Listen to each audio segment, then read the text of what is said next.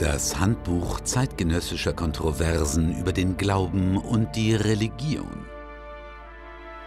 Dieses zierliche Werk aus dem Jahre 1623 passt in jede Hosentasche. Von außen scheint es eher unauffällig. Doch es gehört zu den streitbarsten Werken seiner Epoche. Ein außergewöhnlicher Kupfertitel lässt das erahnen. Die ganzseitige Abbildung skizziert in Wort und Bild ein ketzerisches Unheil. Die Abkehr vom Katholizismus. Eine Warnung vor Elend und Verderben, vor Tod und Verdammnis.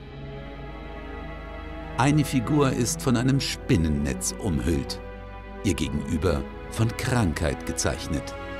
Aus seinem Mund tritt eine Schlange hervor. Eine weitere Figur hat drei Köpfe, Sie sitzt auf einem Misthaufen. Die Schriftbänder enthalten Zitate aus dem Alten Testament. Verfasser dieses kleinen, aber sehr einflussreichen Werks, der Jesuit Martin Becanus.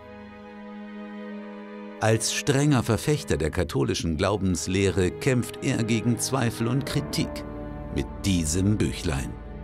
Denn er ist überzeugt, die Fähigkeit zur Sprache ist ein Geschenk Gottes. Sein Handbuch behandelt die zentralen Streitpunkte zwischen Katholiken und Protestanten, darunter Prädestination und Eucharistie. Auch die Unfehlbarkeit der Kirche steht im Fokus. Bis ins 18. Jahrhundert wird das Handbuch zeitgenössischer Kontroversen immer wieder neu gedruckt.